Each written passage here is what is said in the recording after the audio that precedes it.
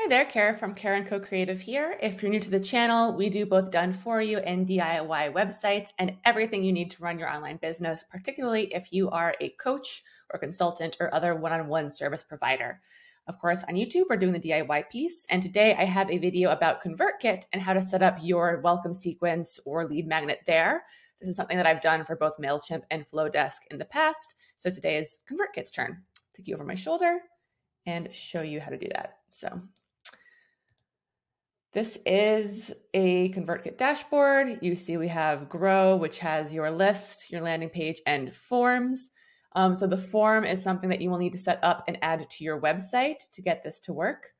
Um, I like to use the Claire form.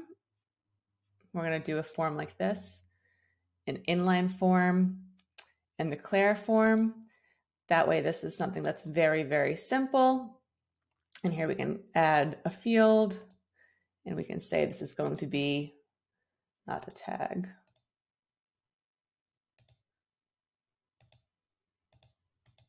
Sorry.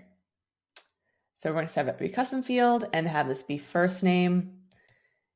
And we can drag this over here. So it's first name and email address. Um, we can also add another one. And then we can sort of do this to get this in here and change this one to last name.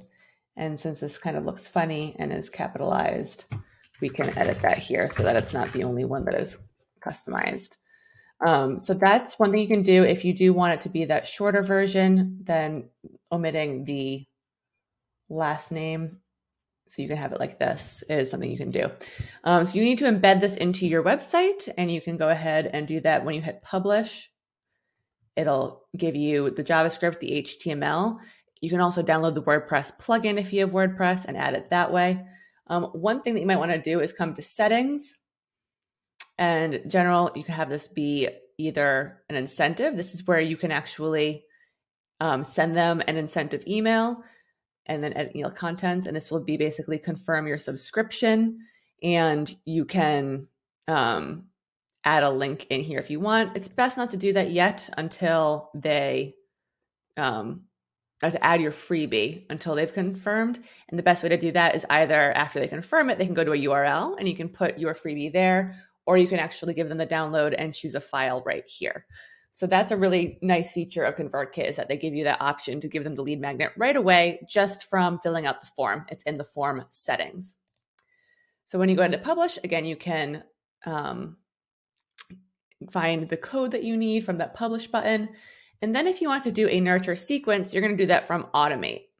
And you're going to pick visual. Well, it's kind of a three step process. One thing you can do is go to sequences and set up a sequence first.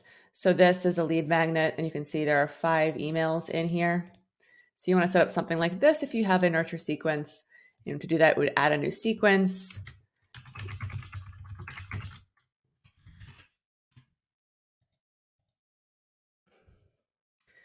Here it's pulling her logo and everything for her. So all you need to do is adjust this.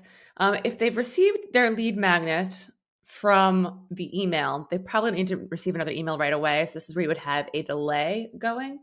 If you're using the sequence to confirm purchase of a product to give them information, then you might want to set this to zero days. Zero days means you're going to get it immediately. So this is just where you would edit your email content. It's going to pull all your stuff into the footer for you, which is nice. And here we just add another email. And here again, you can set this to delay.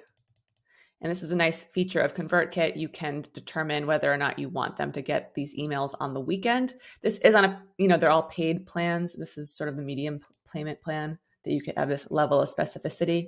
But you continue adding emails as you would like.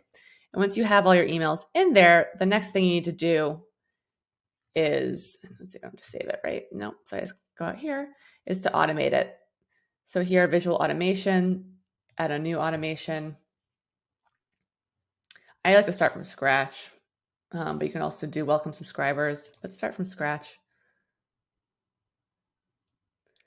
And then here, a great thing to do is this is the trigger it's asking for you. So joins a form, and we're saying this is the Claire form. Um, you can also have multiple events. So if say we need to have it's multiple different forms that would give people this lead magnet, you would add another trigger here.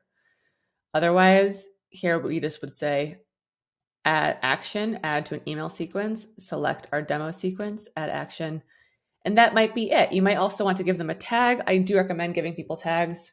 Um, so this might be so here I think I have like her herb guide is a lead magnet. So we would say that is the tag they're going to get. That way, when you look at your contacts, you know what they signed up to your list for, you know what they're interested in. So all you need to do now is make this go live. And now, as long as you've added your form to your website, your nurture sequence and your lead magnet are all set up. So ConvertKit is pretty easy to use. You just have to remember that things are in different places. You can't add your multi step emails in the automation. You do have to go to the email sequences for that. So I hope you found this helpful. If you did, please make sure to drop a like on the video and you can always just subscribe to the channel to make sure you never miss anything. All right. Thank you.